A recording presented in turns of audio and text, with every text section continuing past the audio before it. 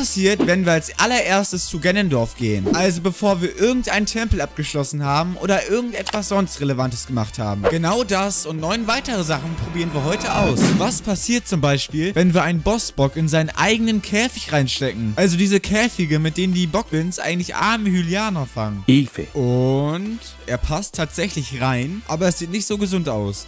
Und schlagen kann er mich auch noch, aber ich habe kein bisschen Schaden gekriegt. Nochmal? Nee, auch wieder nicht. Das scheint ein bisschen verbuggt. Also das scheint ein bisschen verbuggt. Also das scheint ein bisschen verbuggt zu sein. Was war da gerade mit meiner Stimme los? Kannst du mir jetzt helfen? Nee, sorry, keine Zeit. Ich muss schließlich noch testen, was mehr Schaden macht. Eine Zeitbombe oder eine Bombenpflanze. Das ist doch wohl wichtiger als irgendein so Hylianer, oder nicht? Als erstes ist die Zeitbombe dran. Also lassen wir die einfach mal fallen. Stellen mich direkt davor und...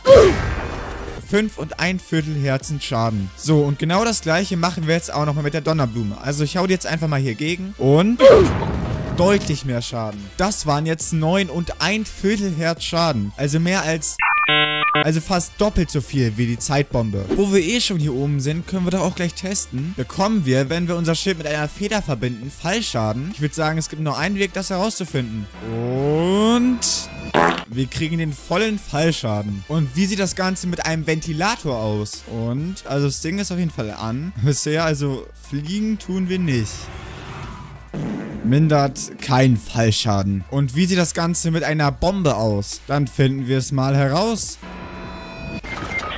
Wir kriegen auch den vollen Fallschaden. Und der letzte Fallschadentest für heute bekommen wir, wenn wir auf Minero sitzen, Fallschaden. Es gibt wieder nur einen Weg, das herauszufinden. Sie hat eine richtige Fallanimation. Es sieht ein bisschen so aus, als würde sie irgendwem sehr leidenschaftlich winken. Gleich sind wir unten. Ich habe nach den letzten drei Tests nicht so hohe Erwartungen. Tatsächlich kein bisschen Fallschaden. Alles komplett abgefangen. Das hätte ich wirklich nicht erwartet. Jetzt ist es endlich an der Zeit, sich zu Ganondorf aufzumachen. Also müssen wir erstmal ein neues Spiel starten. Und da es leider keinen Weg gibt, diese interaktive Anfangs-Cutscenes zu überspringen, muss ich die jetzt einmal durchspielen. Und in der Zeit, wo ich das jetzt einmal mache, werden wir testen, was die maximale Falldauer ist, die wir erreichen können. Wir werden jetzt einmal von Höhe 3293, also dem Höhenlimit, bis zum Boden des Abgrunds am Todes Todesberg fallen. Aber um zum Höhenlimit zu kommen, haben wir erstmal einen langen Flug mit dem Hoverbike vor uns. Jetzt sind wir beim Todesberg, das heißt, wir müssen jetzt mal so langsam gucken, dass wir Maximalhöhe erreichen. Damit sind wir jetzt am Höhenlimit und können jetzt anfangen, uns fallen zu lassen. Und damit sind wir im Todesberg drinne. Das heißt, jetzt geht's in den Untergrund. Und mir ist ziemlich heiß.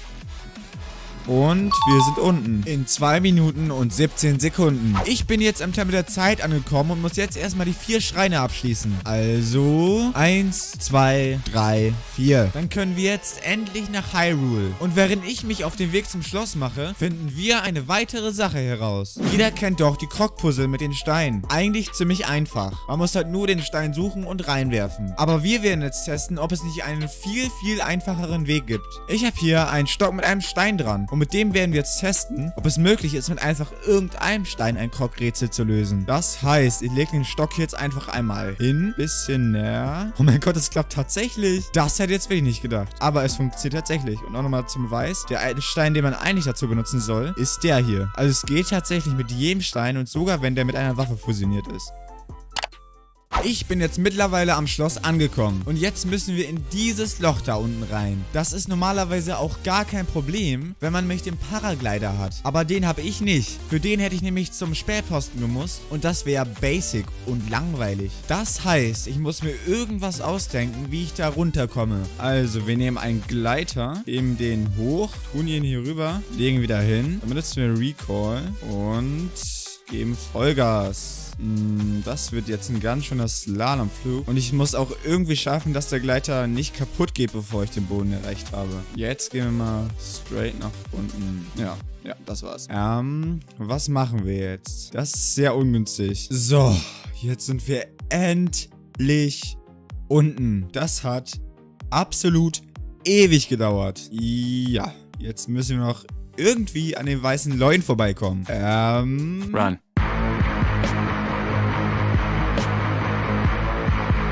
Oh mein Gott, wir haben es hochgeschafft. Oh, die Pfeile kommt durch die Decke. Ah, weg, weg, weg, weg, weg, weg. Einfach weg. Jetzt müssen wir einfach hier ein bisschen runterlaufen. Das kann doch gar nicht so schwer sein. Und wir sind unten. Hier ist nochmal sehr gutes Equipment. Das nehme ich aber gerne nochmal mit. Das fusen wir hier ran. Das war sehr knapp. Das war wieder sehr knapp. Das war sehr knapp. Und wieder sehr knapp. Jetzt muss ich irgendwie vor ihm hier wegrennen. So, damit haben wir jetzt das Schwierigste, glaube ich, erstmal geschafft. Wie kommen wir jetzt hier runter? Ich glaube, es wäre mal wieder Zeit für Gleiter-Action. Und das geht nicht. Ja, so kommen wir runter, so kommen wir runter. Eine Ewigkeit später. Und wir sind unten. Das hat ewig gedauert. Aber es hat funktioniert. Dann können wir uns jetzt endlich auf den Weg hier reinmachen. Der letzte Abgrund. Ich speichere lieber mal. Ich habe noch nicht überlegt, wie ich jetzt hier runterkommen will. Und während ich mir dafür was überlege, machen wir mit was anderem weiter. Mit Waffen, die mit einem Pilz fusioniert sind, können wir diese Gegner wegschlagen. Aber wie sieht das aus, wenn wir die Gegner stattdessen einfach Shield bashen?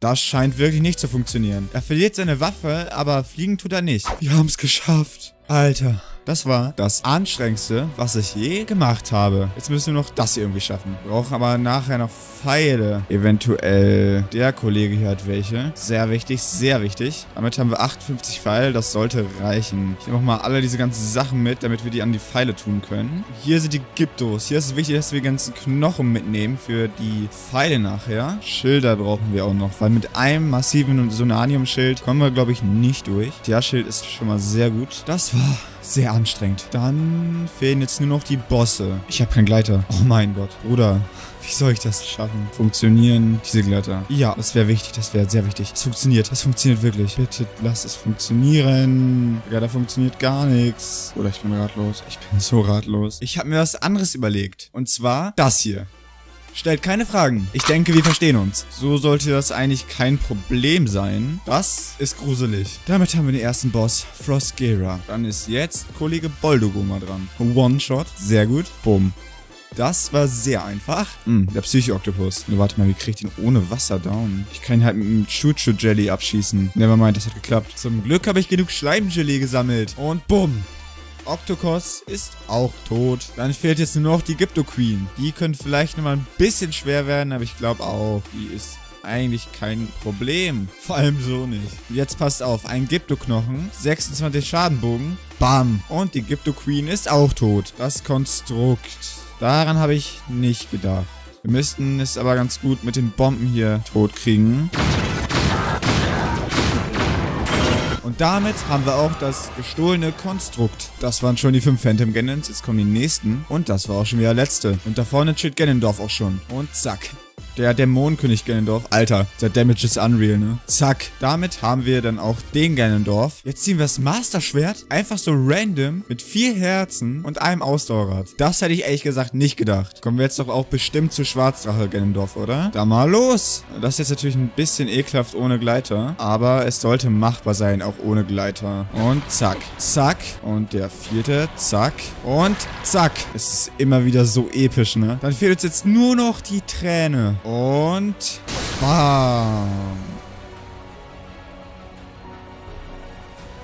Damit ist Ganondorf Geschichte. Man kann also tatsächlich das komplette Spiel schon durchspielen, ohne vorher irgendetwas auch nur ein bisschen Relevantes gemacht zu haben. Vor allem das mit dem Master Schwert kam jetzt sehr unerwartet. Wenn ihr jetzt noch wissen wollt, was ich in meinen ersten 125 Tagen erlebt habe, guckt euch diese Playlist an. Und wenn euch interessiert, was wir in der letzten Folge was passiert, wenn getestet haben, guckt euch dieses Video an. Und dann bis zum nächsten Mal.